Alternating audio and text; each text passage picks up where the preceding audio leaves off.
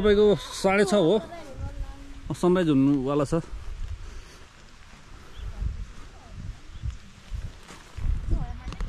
Brush गर्न आऊ।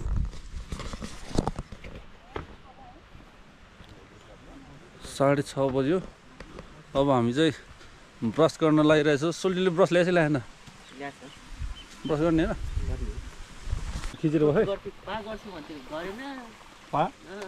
ए घोडो सोरेर हान्छु भने हानेन पिमा सिमा ल्याएन बिहान नि हान्न हान्न जान्छ त अहिलेसम्म हिँड्छ यतै घामिलो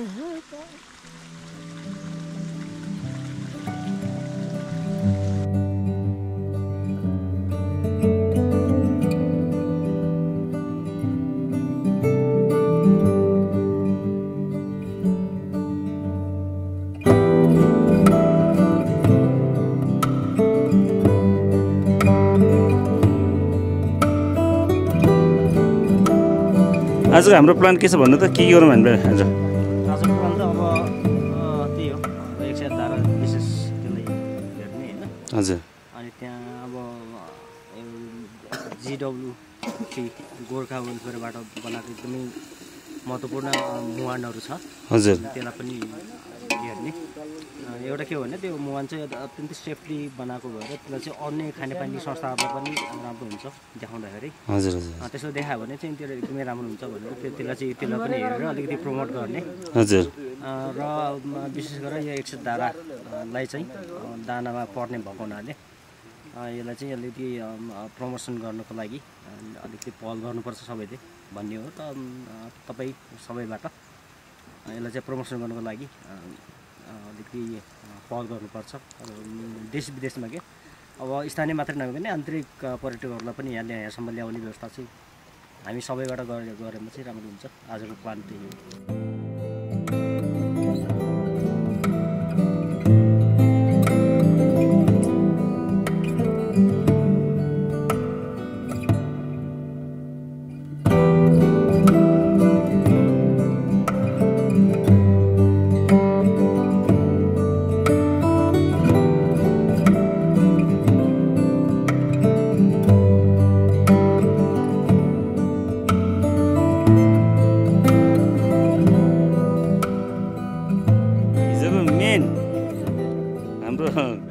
आर्टिस्ट यता हुनुहुन्छ।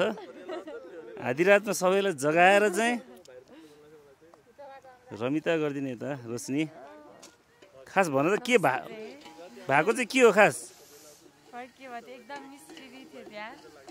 मिस्ट्री थियो डेन्जर चिच्चाइदियो त्यसपछि सबै उठीवास बनाइदियो।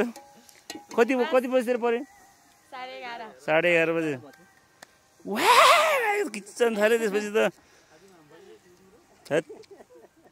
डल्ले खोर्सानी सहित chicken leg piece chicken noodles.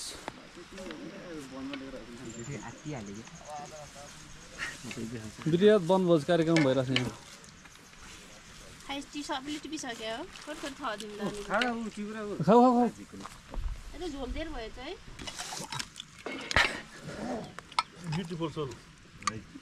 Beautiful sole यस्तो गरेर यस्तो गरेर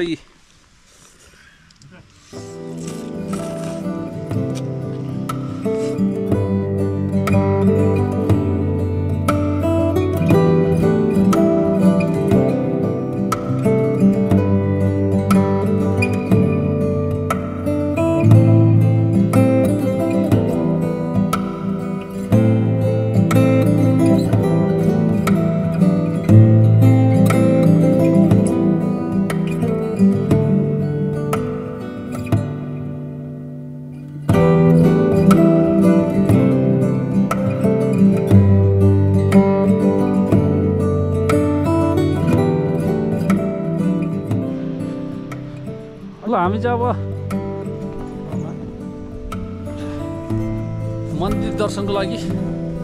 जाँदैछौँ। अरू अगाडि गइसके। हामी तिनजना चाहिँ भर्खर निस्केको यताबाट। नजिकै हो। यो खोलाको पारिपट्टि। पुरै बोजो यहाँ चाहिँ बोर्डो छ पुरै। हाम्रो गाउँकोले खाने पानी पुरै यो मूलबाट जान्छ? अँ। डल्लो हो यो।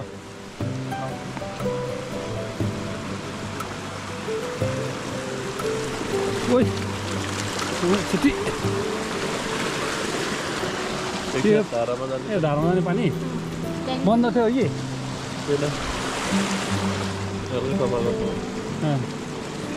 यहाँबाट क्या धारामा जाने पानी चाहिँ यहाँ जम्मा भएर जाँदो रहेछ फोर्स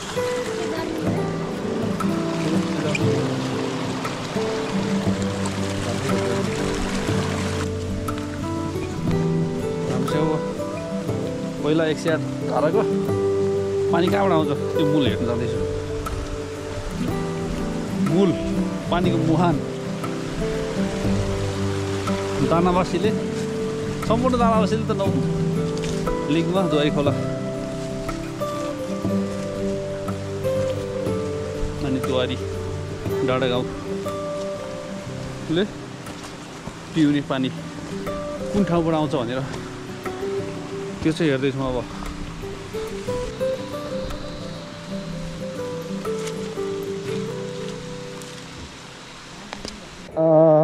अन्नपूर्ण गाउँपालिका वडा नम्बर तिन दानाको मध्यस्थर बरा क्षेत्र।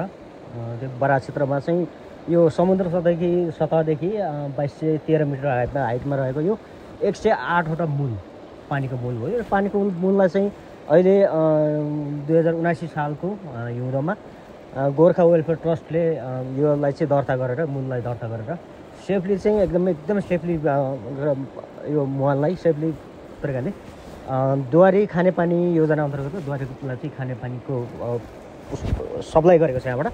र यहाँ चाहिँ सबै यो धेरै मूलहरू छन्। एक सय आठवटा मूल छ भन्ने छ। तर मूलहरू चाहिँ अनगिन्ती छन् है अनगिन्ती छन्। तर एक सय आठवटा मूललाई फेरि यहीँबाट तल लगेर एक सय आठ मन्दिरको छेउमा एक सय आठ धारामा हामीले परिणत गरेका छौँ। र यो धारामा नुहाउँदाखेरि चाहिँ नुहाएर मन्दिरमा पूजा गरेमा विशेष गरेर वैदेशिक यात्राको लागि र बच्चा नहुनेको लागि चाहिँ बच्चा हुने अ, ज- जनविश्वास चाहिँ छ। यो मतिचौर बरामा पूजा गर्दाखेरि।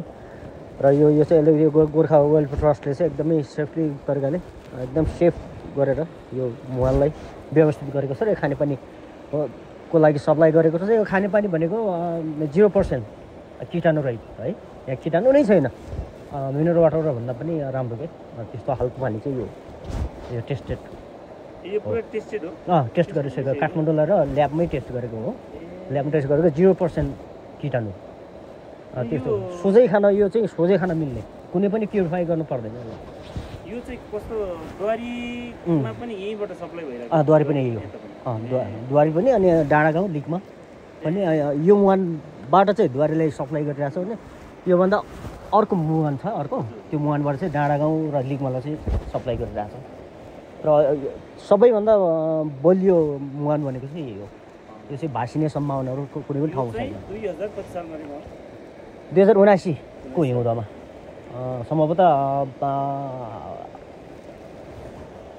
माघ फागुन महिनामा चाहिँ सम्पन्न गरेको योजना हो यो। गोल गोर्खा वेलफेयर ट्रस्टले लगभग सडचालिस लाख सडचालिस लाखको योजना हो। लगभग त्यति त्यति नै सडचालिस लाख होइन मुहानबाट धारासम्म पुर्याउनुको लागि। सडचालिस लाख। को योजनामा भनेको सडचालिसको त्योभन्दा बढी पनि हुनसक्छ तर सडचालिस लाखको हाराहारीमा चाहिँ। यो मुहान बनाउने बेलामा चाहिँ कस्तो यो एक धारामा लाने भन्ने पहिले योजना थियो कि यो चाहिँ खानेपानीको लागि मात्रै बनाएको? होइन होइन यो विशेष गरेर एक साथ धारालाईमा लगेर एक साथ धारामा परिणत गर्ने। अनि त्यसलाई चाहिँ आन्तरिक आन्तरिक परि- पर्यटन प्रबन्ध गर्ने हो होइन योजना चाहिँ। तर फेरि यसले यो यसलाई पनि अब खानेपानीमा सप्लाई गर्दा पनि कुनै धा धारालाई कुनै असर नपर्ने भएको हुनाले असर गफ गर्दैन। यहाँ चाहिँ पानी जतिमा भए पनि छ क्या प्रशस्त मात्रामा छ। जति भए पनि छ अब एक सय धारालाई पनि इनफ छ र खानेपानीको लागि पनि इनफ छ होइन यो होइन होइन होइन यो जहिले पनि बाह्रै मास होइन बाह्रै मास यत्तिकै हो यो पानी। कहिले सुक्दा पनि सुक्दैन ठुलो पनि हुँदैन यो यत्तिकै हो। हिउँदो हो। हुँदैन। त्यो हिउँ पर्दा चाहिँ अलिअलि त्यस्तो छाँटहरू चाहिँ बस्छ होइन? आइसहरू चाहिँ जमेको हुन्छ तर केही असर गर्दैन। यहाँ चाहिँ तपाईँहरूले देखिराख्नु भएको छ नि यो सर्पको मूर्ति। यो सर्पको मूर्ति यो नक्सा सर्पको नक्सा किन राखेको भने जब यहाँ स्टार्टिङ गर्दाखेरि यो यो मुहानकोमा चाहिँ मुहानमा यो तारबार गर्नको लागि अथवा यो सप्लाई गर्नको लागि काम सुरु गर्ने बेलामा चाहिँ यहाँ भिन्नै खालको सर्प निस्किएको थियो होइन?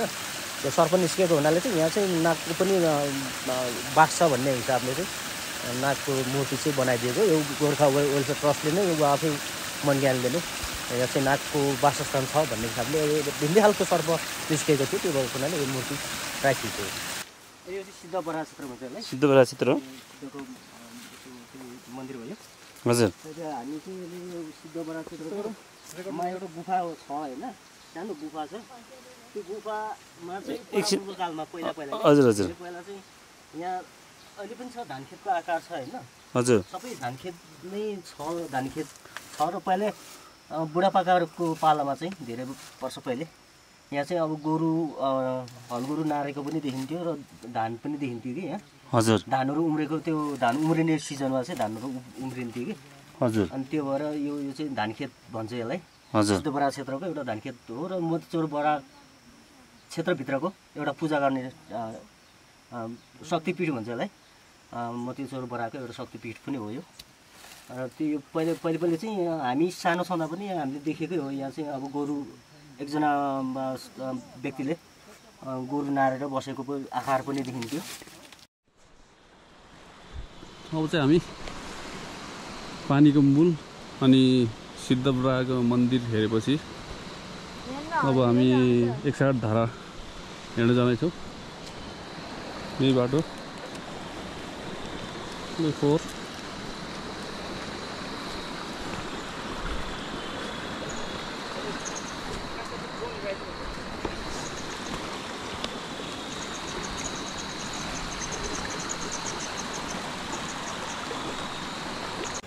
ओके हामी चाहिँ अब एक सय आठ मूलमा पनि गयौँ हामी। अनि त्यो मूलको गोर्खा वेलफेयर ट्रस्टबाट बनाएको मुहान पनि हेरियो। र फेरि अ, सिद्धबरा क्षेत्र त्यो जुन धानखेत पनि हामीले हेऱ्यौँ त्यो त्यो पनि देखाउने प्रयत्न गरिरहेका छौँ।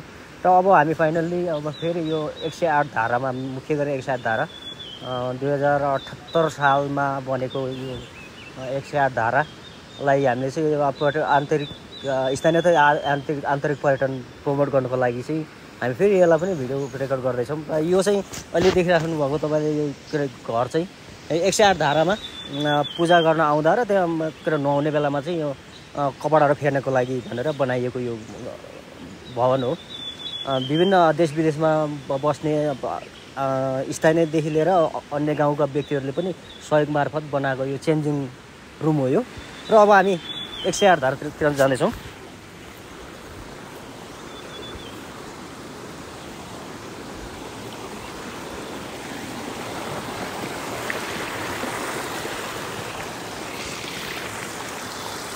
हामी चाहिँ अब एक सय आठ धारामा प्रवेश गर्दैछौँ। अब एक सय आठ धारामा एउटा सामान्य रूपमा गेट बनाइएको छ।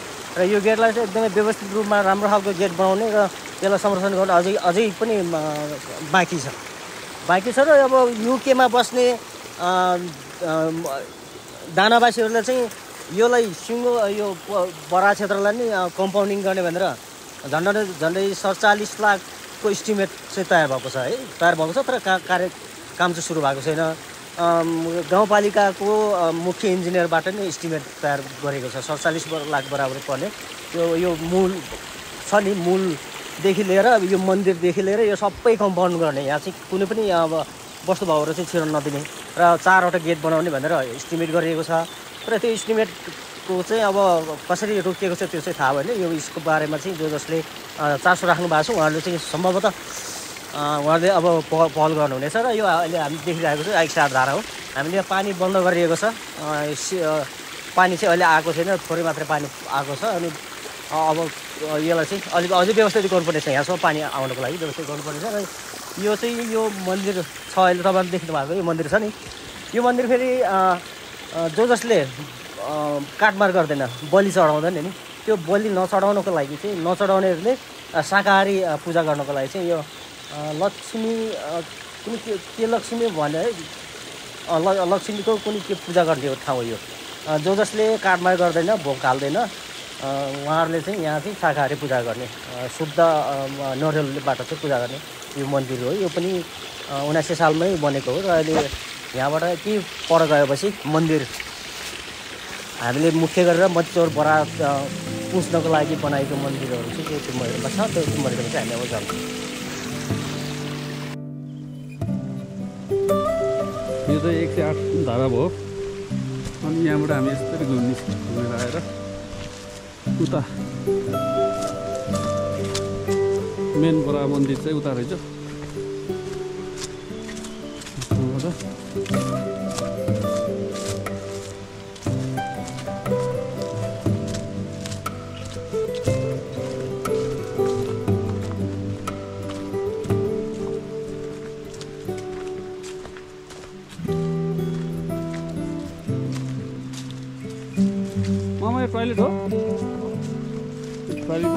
गरेको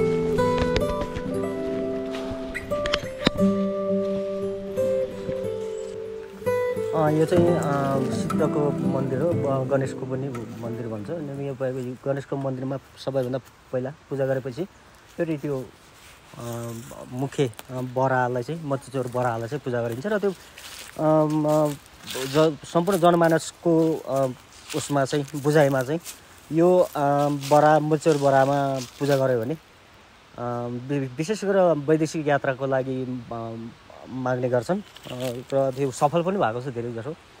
र बच्चा नभएका महिला तथा पुरुषहरूको लागि पनि बच्चा को वर मागेमा चाहिँ प्राप्त हुन्छ भन्ने जनविश्वास छ। र भएको पनि छ धेरै जसो हामीले देखेको पनि छौँ। म आफैले पनि मेरो अनुभवमा पनि धेरै जसोको भएको अनुभव छ। र विदेश जाने लाउरे हुनको लागि चाहिँ वर माग्ने गरिन्छ। लाउरे पनि भएको छन् धेरै जसो यसको विशेषता भन्ने नै यही हो। जानु भएको छ यहाँ ताल छ यहाँ पानीको ताल।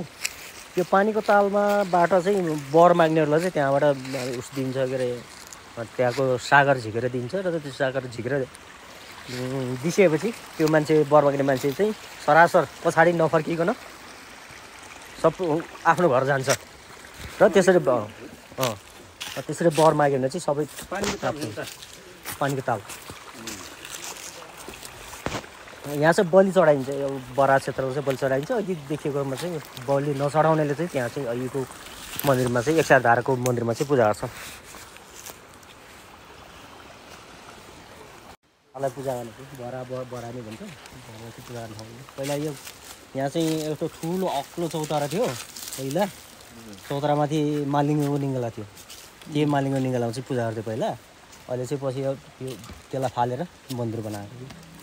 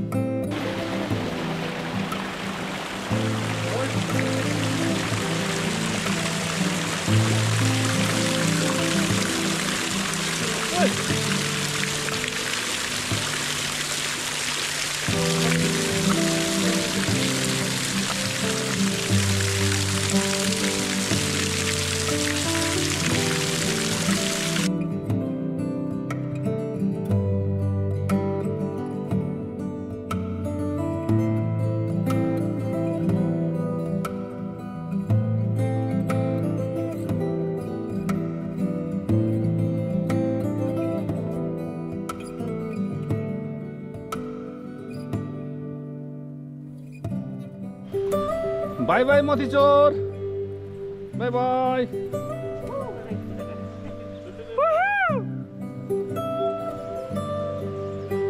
बाई बसाइ राम्रो रह्यो। सुताइ यादगार रह्यो। सबैजना स्पेसल्ली रोशनीको।